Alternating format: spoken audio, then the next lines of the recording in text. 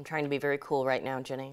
You're doing a pretty know, good job. This is a big deal, guys. As a lifelong musical theater fan, like Yep. this is this is next level. This woman is a superhero to me. The week this weekend there is a chance for you to see the award-winning actress, Broadway goddess, the list goes on, Idina Menzel. the real life Elsa from Frozen, Elphaba from Wicked, Maureen from Rent, plus so many other iconic roles. But these days, she has a new project she's here to talk about with her sister. Idina Menzel and her sister and writer, Cara Mentzel, they've just released a new children's book. Hello, ladies. So nice to see you. And you're joining us in Colorado this weekend. Thank you for joining us. Yeah. Yes. Thanks for having us. So, Loud Mouse, this is your new children's book, just came out this past fall. Tell us what this story is about and the age of kids you're really hoping will fall in love with this story.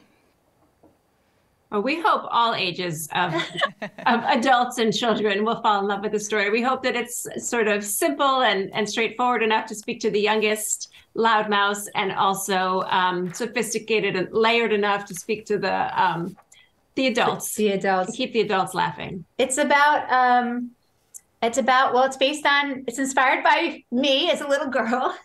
um it's about a little mouse called Dee and her Kara, little sister Kara, uh, Kara Lee. And it's about um kind of when I was little and and I knew I had this big voice and I had something really you know unique to offer but I wasn't sure how how uh, what where I was comfortable doing that and sort of I think that a lot of kids aren't sure how to really step into that thing that makes them special and, and embrace that and so that's what's what it's about and then I have my younger sister who is always the smarter and the wiser who is also that in the book who has the advice has the advice for Dee. Yeah, I, I was a teacher in Boulder for almost 15 years. And so she called me and said, I'd like to talk about how kids can shine, but also how it makes them vulnerable and that that's okay. And I said, I don't know what story we'll tell about that, but I'll figure it out. and we're coming our mom we're going to go stay with our mom uh, Oh, this weekend so she's that's very happy that you're having us come in yeah yes. And all her bet. and all her friends are going to be at the JCC.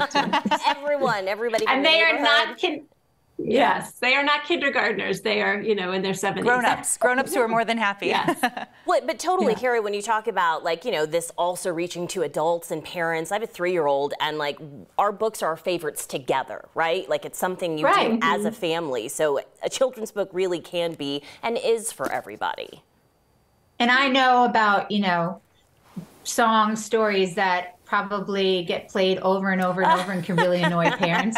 So um, so we really try to have this have layers so that with each age that your kid is at and as you're going with readers and Cara's the teacher and the literacy specialist actually so she really thought about the language of the books and and how this could unfold at each age and also so we just didn't drive parents crazy and they actually felt like there was something in there to talk about with their kids. But we'd like to pepper it with some fun stuff so that every time you read it, maybe you find something new. And speaking of fun, I hear these events you do with this book can be really fun too. So tell people what they can expect when they come out this weekend.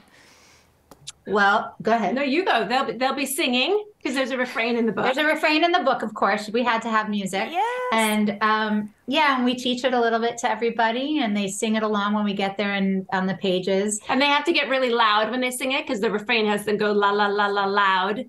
And so we get really loud and then we have to quiet them very quickly so, So, that they we can hear the rest of the book, which is sort of antithetical to the whole book because the book's about finding your loud and proud voice, and then we tell them to be quiet so that they can they can hear all the words. So we've we've run into that little problem there.